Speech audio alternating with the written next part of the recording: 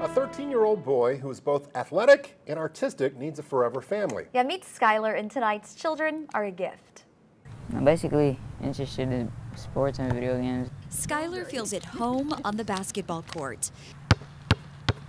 But after spending a couple of years in the foster care system, he is ready to be part of a family.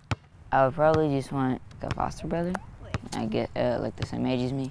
Skylar is an easygoing teenager. Yes, thanks. If I want to play basketball, I would just probably get my friends to see if they want to play basketball or something like that. Or I'll probably just play the Xbox or something. His favorite video game is Styx. It's kind of like a stealth game, like Batman a little bit. Mm -hmm.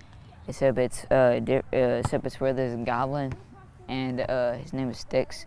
Skylar's favorite subject in school is right in line with his hoop dreams. I mean, I like PE a lot but he also enjoys science class.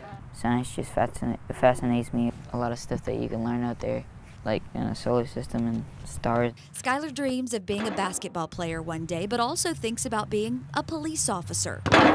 So that way I can eventually probably stop all the bad stuff that's going on in the world. Skylar needs a family who is patient and accepting of him.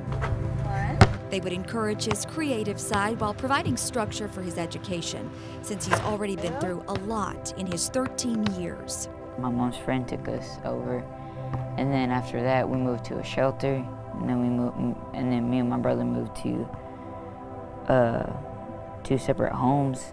Skylar hopes for this in his forever family. They won't fight, like to do fun stuff and I guess loving and he wants people to know what kind of child he is. Hey.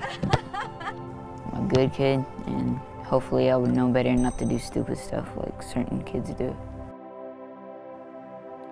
Yes, a good kid. And for another look at Skylar's story, you can just go to CBS19.tv, click on the exclusives tab at the top of the page, and then select the Children Are a Gift box.